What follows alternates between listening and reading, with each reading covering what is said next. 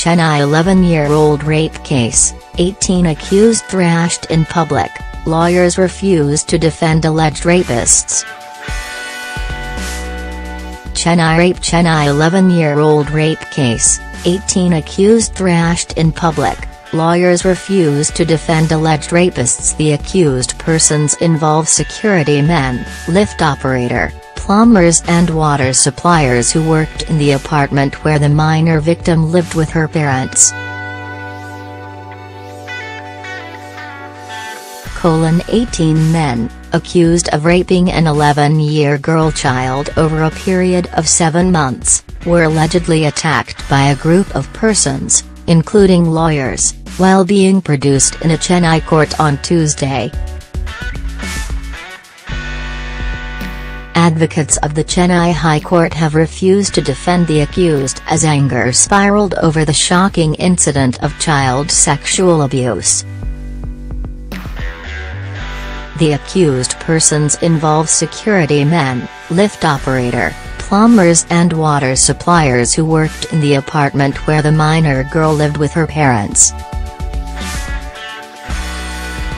The men sedated the minor with drugs and then took her turns to rape her in vacant apartments, police said. They threatened to injure the victim with knives and release videos of the sexual assault if she told anyone.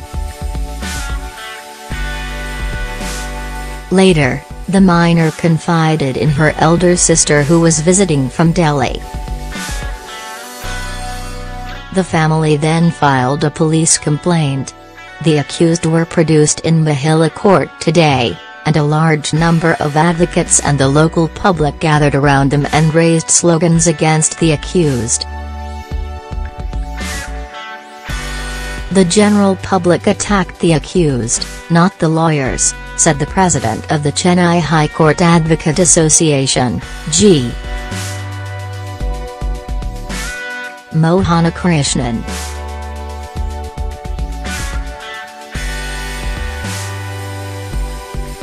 We have decided not to appear for the accused. We are sending the decision to the association.